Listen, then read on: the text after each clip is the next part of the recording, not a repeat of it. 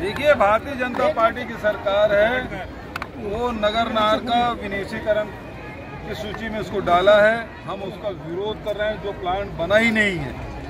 और उसको ये लोग निजी हाथों में बेचना चाहते हैं।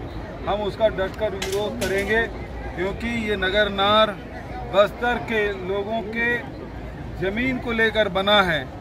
तो यहाँ के लोगों का अधिकार बनता है कि वहाँ नौकरी मिले, रोज़गार मिले।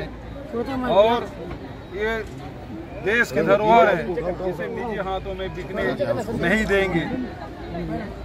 नागरिकता देखिए, ये सीधी बात है, हम सब भारत के लोग हैं।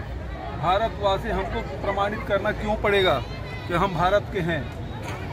हर आदमी को प्रमाणित करना पड़ेगा। आज आप सब बस्तर में रहते हैं बहुत करीब से यहाँ देखे हैं, कितने के पास जाति प्रमाण पत्र।